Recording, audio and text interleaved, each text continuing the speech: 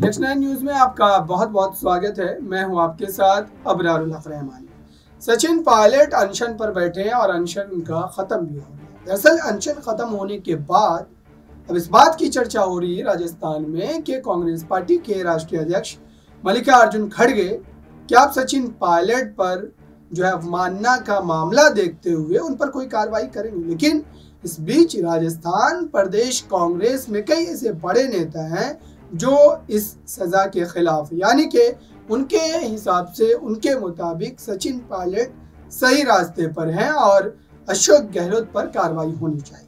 हालाँकि इस पूरे मामले को लेकर के बैठक भी बुलाई जा रही है और इस बैठक में दरअसल ये तय होगा कि अब जो है राजस्थान में मुख्यमंत्री चेहरे के रूप में किसे आगे किया जाएगा और मुख्यमंत्री 2023 में जो अब चुनाव होने वाले हैं साल के आखिर में, उसमें किसे बनाया जाएगा? सीएम पद का चेहरा।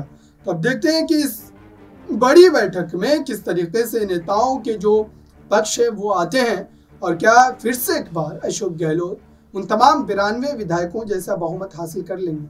जिस समय राजस्थान में सचिन पायलट को एक बड़े पद की ज़िम्मेदारी सौंपी जानी थी, और उसी वक्त अशोक गहलोत ने अपनी राजनीतिक सूझबूझ का इस्तेमाल करते हुए उन तमाम बिरानवे विधायकों का इस्तीफा जो है सीपी जोशी की टेबल पर रखवा दिया और जिसके बाद कांग्रेस पार्टी हाईकमान पूरी तरीके से सकदम रह गई। अब क्या फिर से एक बार चुनाव से ठीक पहले उसी तरीके के माहौल को बनाने की कोशिश की जा रही है सचिन पायलट खेमे के द्वारा।